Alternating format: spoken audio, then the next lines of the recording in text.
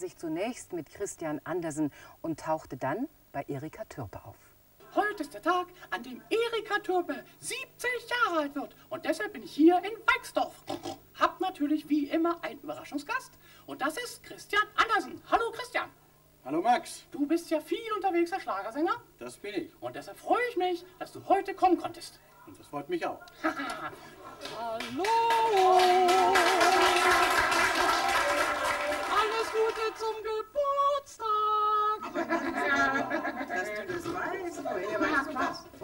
Weiß auch so, darf ich auch sagen, wie alt du wirst? Nö, ne? Nee, da sagst du lieber zweimal 35, das hört sich besser an wie 70. Das finde ich gut. So, dein Mann wollte dir endlich mal was sagen, hat er sich aber nicht getraut. Also weißt du, mein Mann, der sagt mir eigentlich schon, ob, ich, ob er zufrieden ist mit mir oder Das ist er, das ist er. Bist du zufrieden mit ihm? wenn wir mal zanken, dann sagt er mir das. Aber so schön wie ein Schlagersänger kann er dir das nicht sagen. Und deshalb begrüßen wir jetzt herzlich Christian Andersen.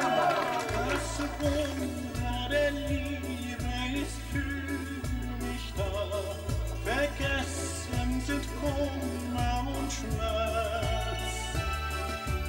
Du bist das schönste Geschenk, seit ich dich sah.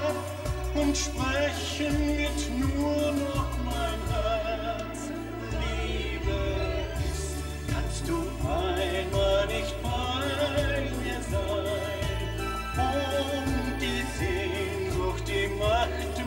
Ja, dann fang ich schnell zu träumen an, bis ich dich in den Arm nehmen kann. Ja!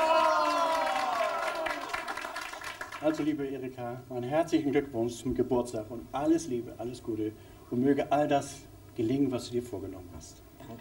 Ja, vielen Dank, Max, und natürlich auch Dankeschön an Christian Andersen. Und hier sind gleich die nächsten Glückwünsche.